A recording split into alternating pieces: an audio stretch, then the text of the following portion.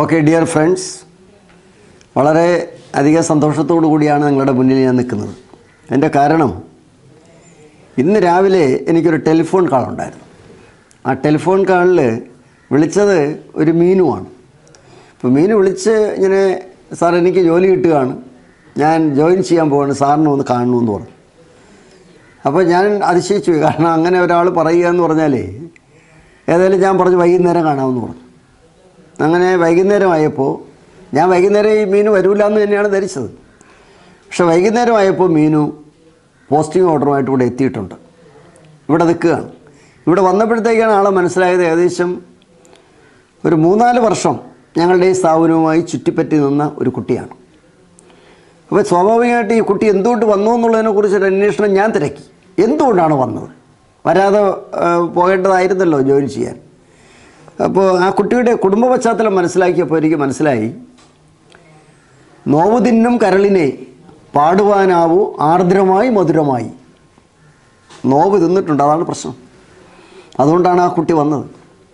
ആ കുട്ടി വന്ന് പോസ്റ്റിംഗ് ഓർഡറുമായിട്ട് എന്റെ മുന്നിൽ നിൽക്കുകയാണ് മീനു. മീനു എന്റെ വീട്ടിന്റെ വളരെ അടുത്ത് തന്നെയാണ് ആ കുട്ടി ജീവിക്കുന്നത്. അച്ഛനും അമ്മയും ഒരു സഹോദരനുമാണുള്ളത്.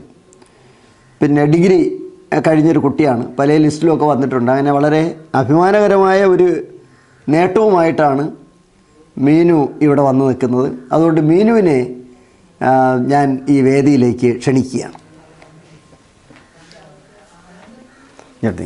ഇതാണ് ഞാൻ പറഞ്ഞ മീനു.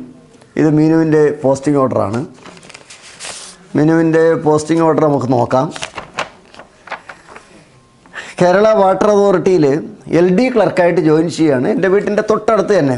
മീനും നടന്നു പോകാമെന്നുള്ളൊരു സ്ഥലത്താണ് ഈ ഓഫീസ്.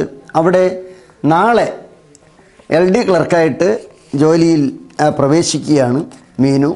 മീനുവിന് എന്താണ് പറയാനുള്ളതെന്നും നിങ്ങളടുത്ത് എന്താണ് ഉപദേശിക്കാനുള്ളതെന്നും മീനു എങ്ങനെയാണ് ഇവിടെ വന്നു പറ്റിയതെന്നും എന്തെല്ലാം ബുദ്ധിമുട്ടുകൾ ജീവിതത്തിൽ അനുഭവിച്ചുവെന്നും ഒക്കെയുള്ള വിവരങ്ങൾ മീനു തന്നെ പറഞ്ഞാലേ അതിന് ഒരു ഹൃദയസ്പർശിയായ ടച്ച് ഉണ്ടാവും. അതുകൊണ്ട് മീനു നിങ്ങളടുത്ത് സംസാരിക്കും. നമസ്കാരം. ഞാൻ മീനു. ഞാൻ താമസിക്കുന്നത് നെടുമങ്ങാട് തന്നെയാണ്. രണ്ടായിരത്തി പതിനേഴ് ജനുവരിയിലാണ് ഞാൻ ചക്രവാണി സാറിന്റെ ഫ്രണ്ട്സിൽ പഠിക്കാൻ വരുന്നത്. രണ്ടായിരത്തി പതിനെട്ട് ജൂണിൽ എഴുതിയ കമ്പനി ബോർഡ് അസിസ്റ്റന്റ് ലിസ്റ്റിലാണ് ഞാനിപ്പോൾ അതിലെ വാട്ടർ അതോറിറ്റിയിലാണ് എൽ ഡി ക്ലർക്കായിട്ട് കയറുന്നത്.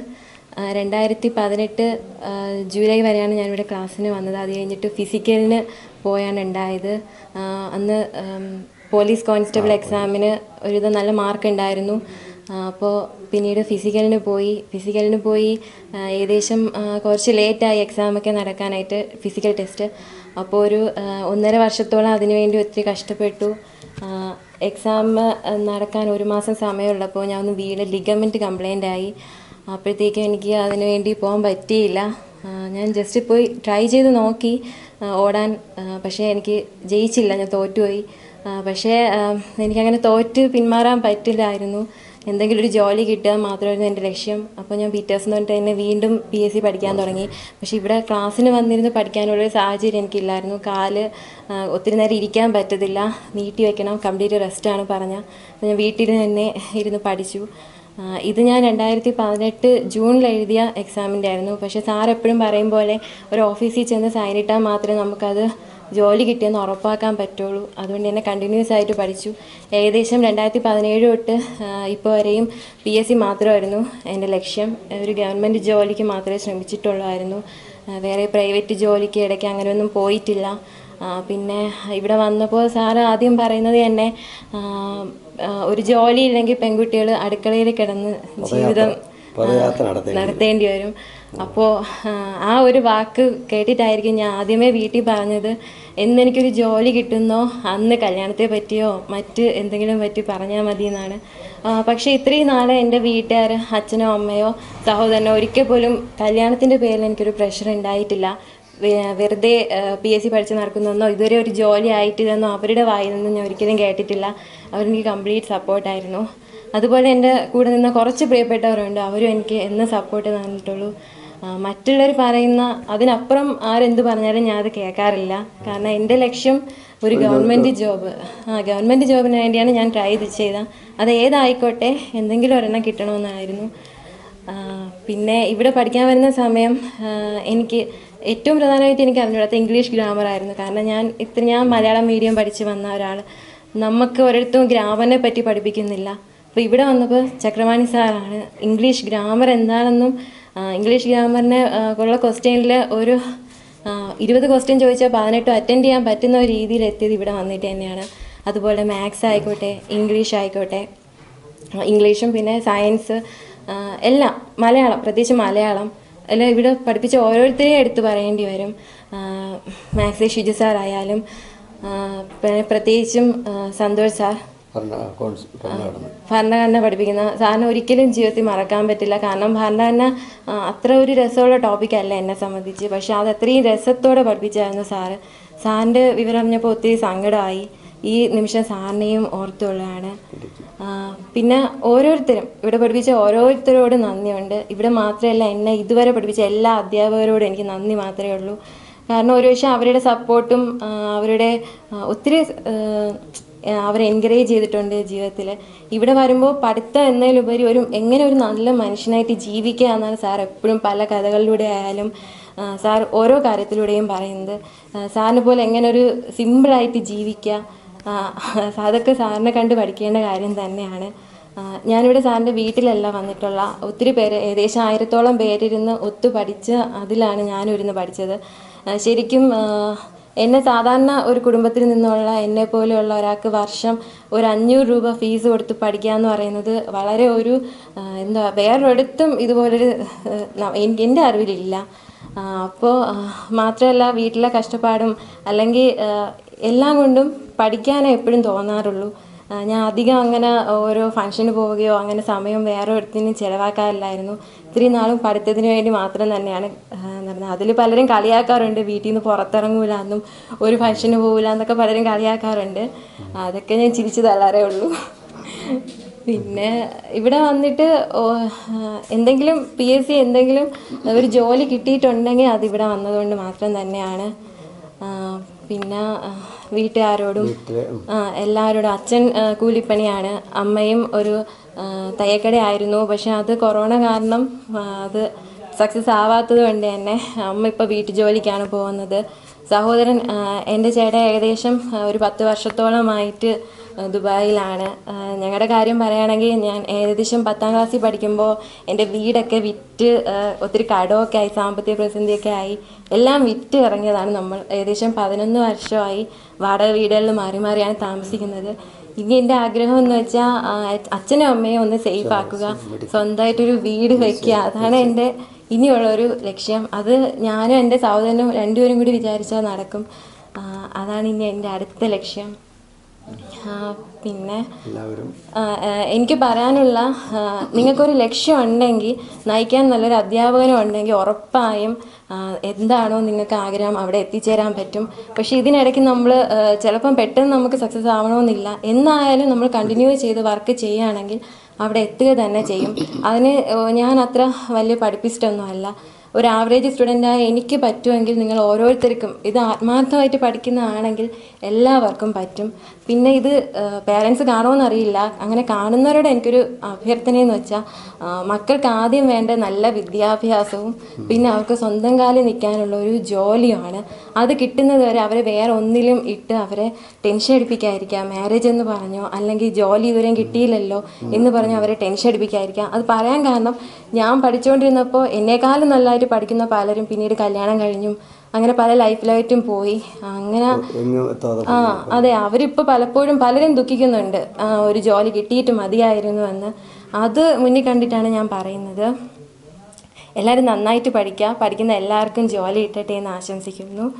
താങ്ക് യു സാർ പിന്നെ സാറിന് ചെറിയൊരു സ്നേഹ സമ്മാനം ചെറുതായിട്ട് പടം വരയ്ക്കും. ആ. സാറിന് എനിക്ക് എനിക്കൊരു ചെറിയ സമ്മാനം കൊണ്ടുവന്നിട്ടുണ്ട്. ആ സമ്മാനം കാണാനുള്ള ഉത്കണ്ഠയിൽ ഞാൻ നിൽക്കുകയാണ്. സൂരജ് നിൽക്കുകയാണ്.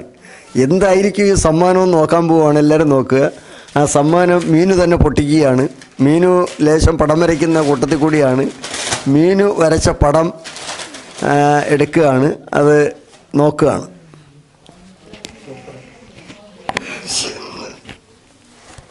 ഇതാണ് മീനു വരച്ച പടം.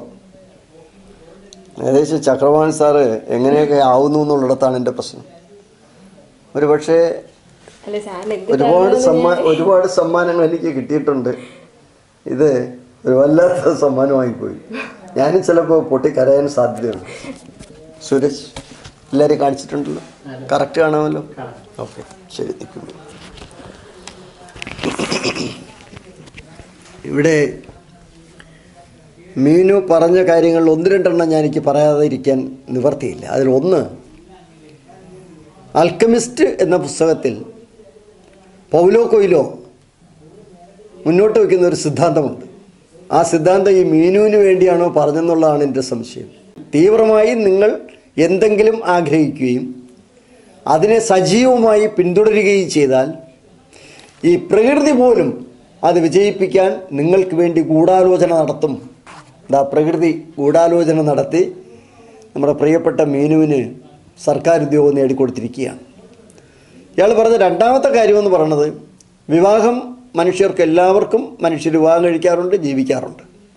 പക്ഷേ ഇയാൾ പറഞ്ഞ നൂറ് ശതമാനം ശരിയാണ്. എനിക്കത് തുറന്നു പറയാനുള്ള ധൈര്യമില്ലായിരുന്നു. ഇവിടെ നന്നായിട്ട് പഠിച്ചുകൊണ്ടിരിക്കുന്ന കുട്ടികൾ കല്യാണം കഴിയും. കല്യാണം കഴിഞ്ഞ് പോയി പിന്നെ അവരുടെ പഠിത്തവും നിർത്തി പിന്നെ കുറേ കാലം കഴിയുമ്പോൾ തിരിച്ചു വരും. ഇവിടെ നേരെ തിരിച്ചാണ്. നേരെ തിരിച്ചേ ആകാൻ പറ്റും. എന്താണെന്ന് വെച്ചാൽ അച്ഛനും അമ്മയും കൂലിവേലക്കാർ സ്വന്തമായിട്ടൊരു വീടില്ല. അപ്പോൾ ആ സ്ഥിതിക്ക് ഈ കുട്ടി വീട്ടിനകത്ത് തന്നെ ഇരുന്ന് പഠിച്ചു. എല്ലാ ഫംഗ്ഷനും പോയി. ഞാൻ എന്റെ സാന്നിധ്യം അറിയിക്കാൻ ഈ കുട്ടി ശ്രമിച്ചില്ല. ആളുകളൊക്കെ പറഞ്ഞു ഈ കുട്ടി പുറത്തിറങ്ങൂല എന്ന് പറഞ്ഞു. ഇതാ ഇപ്പോൾ വളരെ സന്തോഷത്തോടെ പുറത്തിറങ്ങി നിൽക്കുകയാണ്. ഇത് ഈ വിദ്യാർത്ഥി സമൂഹത്തിനുള്ള ഒരു നല്ലൊരു ഗ്രഹപാഠമാണ് ഇവിടെ നിങ്ങൾ കണ്ടത്. ഇതിവിടെ കൊണ്ട് അവസാനിക്കില്ല. എന്താണെന്നറിയാമോ? ഇയാൾ ലാസ്റ്റ് പറഞ്ഞു നിർത്തിയതിന്റെ പൊരുൾ എത്രയോ വർഷങ്ങളായി. മാറി മാറി വാടക വീട്ടിൽ താമസിക്കുന്ന ഞങ്ങൾക്ക് ഒരു വീട് വേണം. എന്റെ അച്ഛനും അമ്മയ്ക്കും ഒരു കൊച്ചു വീടുണ്ടാക്കി കൊടുക്കണം. ഞാനും എന്റെ ജ്യേഷ്ഠനും കൂടി അതിന് ശ്രമിക്കും. തീർച്ചയായിട്ടും അത് നടക്കുക തന്നെ ചെയ്യും. ഈ വാടക വീട്ടിൽ താമസിച്ചവർക്ക് മാത്രമേ ഇതിന്റെ ബുദ്ധിമുട്ടറിയാവൂ. ഞാൻ രണ്ട് വാടക വീട്ടിൽ താമസിച്ചിട്ടാണ് ഞാൻ ഒരു വീട് വെച്ചത്. ആറ് വാടക വീട്ടിൽ താമസിച്ചു. ഈ ആറ് വാടക വീട്ടിലെ ആറ് ഉടമസ്ഥന്മാർ ആറ് സ്വഭാവക്കാരായിരിക്കും. എല്ലാവരും നന്നായി പെരുമാറുന്നു എന്ന് തന്നെ നമുക്ക് കരുതേണ്ടതുണ്ട്. പക്ഷേ എന്നാലും അതിന്റെ ബുദ്ധിമുട്ടുകൾ വളരെ വലുതാണ്. നമ്മൾ സ്വന്തമല്ലാത്ത ഒരു മണ്ണിൽ കിടക്കുക അവിടെ നമുക്കൊരു ചെടി നന്നായിട്ട് വെക്കാൻ പറ്റാതിരിക്കുക നമുക്കെല്ലാം അവിടെ പേടിച്ച് പേടിച്ച് ജീവിക്കുക. അങ്ങനെ കഴിഞ്ഞ പതിനൊന്ന് വർഷം കൊണ്ട് വാടക വീട്ടിൽ താമസിക്കുന്ന ബീനുവാണ് എന്റെ അടുത്ത് നിൽക്കുന്നത്. ഇനിയിപ്പോൾ ജോലി കിട്ടി ഇനി കല്യാണം. കല്യാണാലോചനകൾ വരട്ടെ. ഇതേപോലുള്ള നല്ല നല്ല പെൺകുട്ടികൾ ധാരാളം പെൺകുട്ടികൾ സമൂഹത്തിലുണ്ട്. പക്ഷേ നിശ്ചയദാർഢ്യവും അച്ഛനും അമ്മയും സംരക്ഷിക്കാൻ ഉള്ള മോഹവുമുള്ള ഇതേപോലുള്ള കുട്ടികൾ ആർക്ക് ജീവിത പങ്കാളിയായി കിട്ടിയാലും ആ ജീവിതം നൂറ് ശതമാനം വിജയിക്കും എന്നുള്ളതിൽ സംശയം വേണ്ട. ഒരു പക്ഷേ ഇനി ഇപ്പം മീനു നാളെ ജോയിൻ ചെയ്യും. ജോയിൻ ചെയ്താൽ അടുത്ത ദിവസങ്ങളിൽ മീനു മീനുവിന്റെ വിവാഹ കത്തുമായിട്ട് എന്റെ അടുത്ത് വരും വരും എന്ന് ഞാൻ ധരിക്കുകയാണ്. അത് ഞാൻ സ്വപ്നത്തിൽ കാണുകയാണ്. തീർച്ചയായിട്ടും ആ കുടുംബത്തിന് മീനുവിന്റെ യഥാർത്ഥത്തിൽ അച്ഛനും അമ്മയും കാണാനും കൂടെ ഞാൻ ആഗ്രഹിക്കുകയാണ്. സത്യം. അച്ഛനും അമ്മയും കാണാൻ ഞാൻ ആഗ്രഹിക്കുകയാണ്. അതെ ആ അച്ഛനും അമ്മയും വരുമെന്നാണ് പറയുന്നത്. ഏതായാലും ഹൃദയസ്പർശിയായ ഒരു നിമിഷമാണ് ഇന്ന് വൈകുന്നേരം. ഈ രണ്ടായിരത്തി ഇരുപത്തിരണ്ട് എന്റെ രണ്ടാം ദിവസം എനിക്ക് സമ്മാനിച്ചത്. ഇനി ഏകദേശം മുന്നൂ മുന്നൂറ്റി അറുപത്തി മൂന്ന് ദിവസം ഇനി ഞാൻ പിന്നിടേണ്ടതുണ്ട് ഈ വർഷം. പക്ഷേ ഈ രണ്ടായിരത്തി ഇരുപത്തിരണ്ടിൽ ഈ ദിവസം അതായത് ജനുവരി രണ്ടാം തീയതി ഞായറാഴ്ച ഈ വൈകുന്നേരം ഉള്ള ഈ ചിന്താഗതി എന്റെ മനസ്സിൽ നിറഞ്ഞു നിൽക്കുമെന്നും കുറേ കാലം ഈ ചിന്താഗതി എന്റെ മനസ്സിനെ പിന്തുടരുമെന്നും ഈ കുട്ടിയുടെ ജീവിതകഥ എന്നെ കൂടുതൽ കൂടുതൽ ഈ രംഗത്ത് നിൽക്കാനും ഏറ്റവും അർഹതയുള്ള ആളുകളെ സഹായിക്കുവാനും എനിക്ക് കഴിയുമെന്നും ഞാൻ പ്രതീക്ഷിക്കുന്നു. മീനു തീർച്ചയായിട്ടും മീനുവിനും മീനുവിന്റെ കുടുംബത്തിനും എല്ലാവിധ ആശംസകളും ഞാൻ ചേരുന്നു. ഈ വാട്ടർ അതോറിറ്റി പോകുമ്പോഴത്തേക്ക് ഇവിടെ നിന്ന് ജോലി കിട്ടിയ കുട്ടികൾ വാട്ടർ അതോറിറ്റിയിലുണ്ട്. അവരുമായിട്ടെല്ലാം സൗഹൃദം സ്ഥാപിച്ച് വളരെ കരുത്തോടു കൂടി മുന്നോട്ട് പോകണം. പിശുക്ക് ജീവിക്കണം. ഇനി ഓരോ പൈസയും പിശുക്ക് പിശുക്കി ജീവിക്കണം. നമ്മളെ കാര്യങ്ങളെല്ലാം നേടിയെടുക്കാനുള്ള ശ്രമം മുന്നോട്ട് പോകട്ടെ എന്ന് ആശംസിക്കുന്നു. എല്ലാവർക്കും എല്ലാ പുതുവത്സര ആശംസകൾ ഒരിക്കൽ കൂടി പറഞ്ഞുകൊണ്ട് അവസാനിപ്പിക്കുന്നു. നന്ദി നമസ്കാരം.